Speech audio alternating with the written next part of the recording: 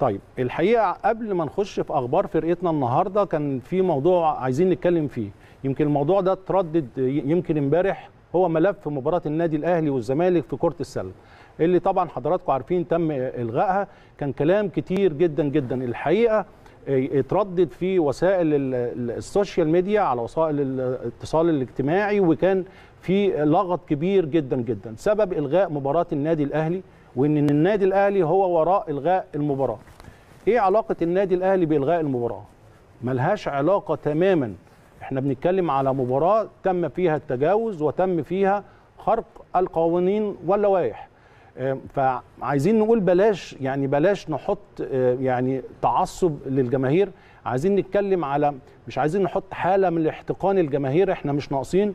وكلام لا أساس له من الصحة ولا وجود ليه اللي حصل في مباراة الزمالك والأهلي إن النادي الأهلي يعني اتطبق اللائحة بغض النظر عن هذه المباراة قدام الزمالك يعني لو هذا الموقف قدام أي نادي تاني وحصل هذا الموقف كمان كان هيبقى في تطبيق للوائح المباراة اتلغت اتحاد كرة السلة هو اللي عمل العقوبه مراقب المباراة الكابتن يحيى زكريا هو اللي شاف إن المباراة من المستحيل إنها تتلعب في هذه الأجواء.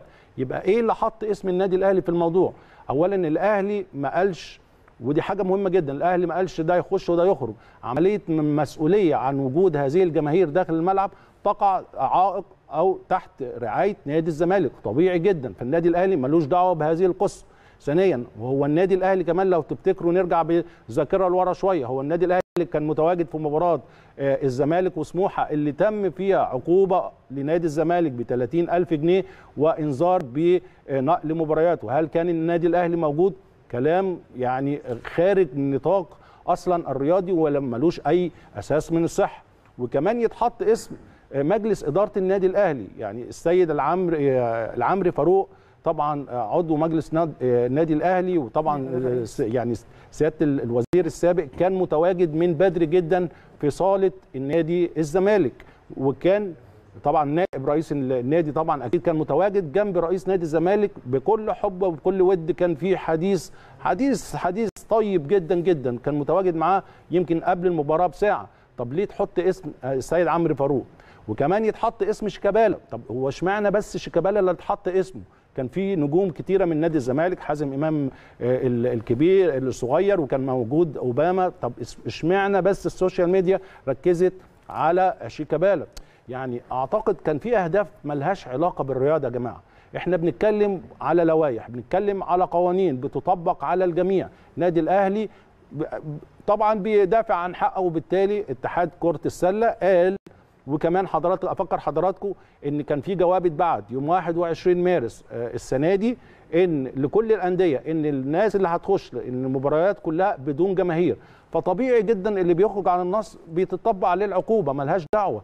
يعني ملهاش دعوة بقى ده أهلي ده زمالك إحنا بنطبق لوائح. وهو ده النادي الأهلي دايما وراء اللوائح والقوانين. ده شيء مهم جدا. وخلينا نتكلم بكل أمانة يعني أنا في اعتقادي إن على كان مجلس إدارة نادي الزمالك إنه يبحث في الأخطاء اللي حصلت ديت. النادي الأهلي خارج الموضوع خالص. طيب مين المسؤول عن دخول هذه الجماهير؟ مين المسؤول عن تواجد هذه الجماهير؟ وإن لما حاولوا بقدر الإمكان إنه يخرجوا الجماهير لا الجماهير ما خرجتش. فلازم نبص الأمور بواقعية أكتر نبعد شوية عن إن هو حق حقن الجماهير بحقن ملهاش أي داعي وملهاش أي يعني مجال في الرياضة. ولسه كنا بنتكلم من يومين سهام على نبذ التعصب بشكل كبير. فخلينا نتكلم إنه النادي الأهلي يخرج تماما من هذه المعادلة لأن النادي الأهلي بيطبق القوانين لا. واللوائح لا لأن عواقبه وخيمة. على لأنه على عواقبه على وخيمة. الأندية كلها. ونتائجه خطيرة. على الأندية كلها طبعا. ونتائجه خطيرة. وأنا عايزة الحقيقة مخرجنا يعني أيوه أهو لعبها لنا الصور. أهي بصوا كده في أرض الملعب. أنا عايزة أسأل سؤال مين دول؟ يعني مين دول؟ تعرفوا فيهم يعني حد إيه الناس دي كلها؟ إزاي دخلوا الصالة؟ هل دي صالة بيتلعب فيها مباراة؟ هل في أمان كده على اللعيبة؟ بلاش الاجراءات الاحترازية. هل في أمان على اللعيبة من حيث ان انت تقرب منهم تتعرض لهم لا قدر الله يتصابوا؟ بلاش كلام مش حقيقي يا جماعة. بلاش يعني تلاعب بالجماهير كفاية. بلاش الاهلي يعني تحديدا. مين عرضك للعقوبة قدام سموحة النهارده؟ ده سؤال كبير جدا عايزين عليه إجابة من من الجمهور. بعدين دي صالة نادي الزمالك مين؟ ومسؤول عن تأمينها. وأمن النادي المفروض في يعني في قمة زي دي دي مباراة قمة. زي دي المفروض يكون متواجد بشكل يعني أكبر الأمن خاصة في وجود رئيس النادي. إنما يتم اقتحام الصالة بالشكل ده في وجود رئيس النادي. وبعدين الأهلي راح من بدري وكان سيادة الوزير العامري فاروق في الصالة من بدري جدا وقاعد جنب رئيس نادي الزمالك.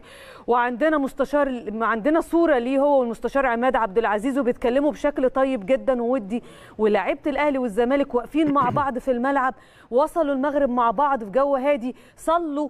يعني بدأت بعد كده لعيبه الزمالك تسخن. بعد كده لعيبه النادي الأهلي دخلوا الساعة 6 يسخنوا هم كمان. بعد كده دخلت ناس كتير. وبقى في حوالي 100 شخص في الملعب. فمراقب المباراة هنا دوره. الكابتن يحيى زكريا قال لك الملعب لازم يتم إخلاؤه. يعني أنا مش فاهمة الصالة دي يعني آه، هيتلعب فيها مباراة بعد دقايق إزاي؟ لازم يتم إخلاءها. ده وفقا لخطاب اتحاد اللعبة يوم 21 مارس مش وفقا لرئيس نادي الزمالك أو مجلس إدارة النادي. يبقى حضرتك ما تحطش اسم النادي في جملة مفيدة ولا تزج باسمه. انت كنت مسؤول عن التأمين ولم يتم الالتزام باللوائح. فتم اتخاذ قرار بإلغاء المباراة وبعد كده القرارات اللي خرجت خرجت من اتحاد السلة باعتبار الأهلي فايز. ما خرجتش من مقر الأهلي ما خرجتش من الجزيرة ولا حاجة من ديت حصلت. ده باختصار شديد أهو واقفين وهم بيصلوا قبل ما يدخلوا يلعبوا. وده الحقيقة الكلام اللي إحنا كنا لازم نقوله ونوضحه للجمهور زي ما إحنا يعني زي ما كنا صريحين مع نفسنا ومع جماهيرنا من البداية كنا لازم نقف عند نقاط معينة كانت وسائل الاتصال بتتكلم فيها اليومين اللي فاتوا في مفاهيم الحقيقة مغلوطة. مين مين اللي وقفك قدام نادي سموح؟ مين؟ مين اللي, أنذرك بإن كل مبارياتك القادمة هتلعب خارج ملعبك أو خارج مقرك؟ مين؟ فخلينا صريحين وبلاش التلاعب لإن ده زي ما قلت في الأول يعني عواقبه وخيمه جدا جدا على الجمهورين يا جماعة. بالرغم بلاش كده. بالرغم يا سهام يمكن في الفترة الأخيرة طلع طبعا سيادة المستشار عماد عبد العزيز رئيس نادي الزمالك وكان أشاد بالكابتن محمود الخطيب. لما كابتن محمود الخطيب قال إن إحنا النادي الأهلي لن يتم التعاقد أو حتى الكلام مع أي لاعب من لاعبي نادي الزمالك في الفترة اللي فاتت نتيجة الظروف طبعا اللي كان بيمر نادي الزمالك. سيادة المستشار نفسه رئيس نادي الزمالك طلع وشكر الكابتن محمود الخطيب على هذه الخطوة. إحنا بنتكلم دايما يا جماعة طب أنت ترجع ليه تطير المواضيع تاني؟ ليه عملية إن دايما بتصدر الجماهير بالبلد. بتصدر لها صورة غير حقيقية. ليه بتصدر دايما اسم النادي الأهلي؟ إنه النادي الأهلي هو سبب المشاكل النادي الأهلي عمره ما كان سبب مشاكل. النادي الأهلي هو طول عمره هو اللي بيحل المشاكل. ومش مشاكله هو ده كمان بيحاول يحل مشاكل كل الأسرة الرياضية. آه، تفتكروا النادي الأهلي ما تنسوش النادي الأهلي كان أول نادي في مصر بيقول لك لازم الدوري يرجع. ووقف وقفة قوية جدا. وتخيل هذه يعني هذه الخطوة قد إيه كانت لصالح الكره الكرة المصرية بشكل كبير جدا وصالح كل الأندية. النادي الأهلي لما بي في قانون وفي لائحة النادي الأهلي بيمشي ورا هذه اللوائح وورا هذه القوانين وبالتالي كان في اعتقادي الشخصي إن كان من اللازم والوجوب على حل هذه المشكلة من داخل نادي الزمالك. فين الخطأ اللي حصل يا جماعة؟ الخطأ اللي حصل إحنا مسؤولين عن دخول وخروج الجماهير يبقى تجيب المسؤول اللي كان متسبب في دخول هذه الجماهير ويبدأ المحاسبة داخل البيت. لكن دايما بنقول العلاقات يا جماعة والكابتن محمود الخطيب دايما بيقول العلاقات ما بين الأندية لازم تكون علاقات محترمة لازم تكون علاقات الود. نخلي ال social media دي على جنب شوية إحنا كمسؤولين ده على لسان الكابتن محمود الخطيب إحنا كمسؤولين ورؤساء أندية وده اللي قاله في لقائه مع طبعا السيد آه، آه، آه، فرج عامر رئيس نادي سموحة قال علينا دور كبير جدا إحنا كرؤساء ومسؤولين إن إحنا عملية التعصب لازم تنتهي بشكل كبير. آه في social media لكن ما يجرناش تاني لموضوع يمكن إحنا عايزين نخرج منه بأي شكل إن إحنا نخرج من هذه القوقعة.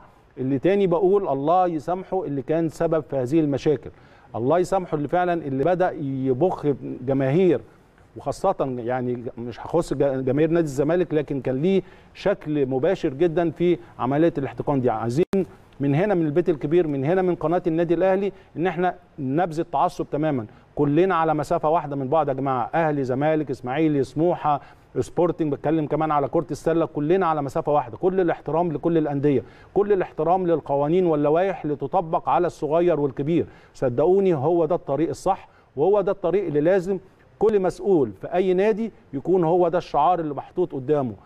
اللوائح تطبق على الجميع والعدل هو يكون يسود هذه المنظومة. بتكلم عن أي منظومة رياضية كورة سلة طايرة هو ده يا جماعة اللي هيخرجنا شوية من عملية الهرجلة في السوشيال ميديا ونبدأ نحط حاجات أعتقد بتبعدنا كتير جدا جدا عن الطريقة الصحيحة أنا عندي لائحة لازم تطبق ولازم ألتزم فيها من أكبر واحد لأصغر واحد ده اللي بنقوله ده ده اللي ده, اللي المفروض يتم وده طيب. فعلا اللي بيتخذ دلوقتي ولما بيتم إجراؤه أو بيتم تنفيذه الناس بتطلع تقول لك إشمعنى؟ لا مش إشمعنى. أنت النهارده عندك كارثة كمان يعني كان في يعني عندك سابقة قبل كده عندك مباراة. وتم تحذيرك فيها وتم تغريمك فيها حوالي 30 ألف جنيه. فالنهاردة لما يجي بقى الاسم النادي الأهلي آه يعني عارف اللي هو إيه؟ وك- كأنك بقى و- ما صدقنا بقى جه اسم النادي لا، الأهلي في حاجة هو النادي الأهلي هو اللي علشان طب هو اللي عمل العقود ما هو كلام ده السوشيال ميديا صحيح. بعض من وسائل التواصل الاجتماعي اللي كانت عمالة بتتكلم يعني اخدك في السكة دي إنه النادي الأهلي آه، السبب إنه. النادي الأهلي هو السبب. بعيد تماما النادي وده بعيدا تماما عن الصحة. صحيح النادي الأهلي دايما وراء المبادئ والقوانين واللوائح. هو ده النادي الأهلي.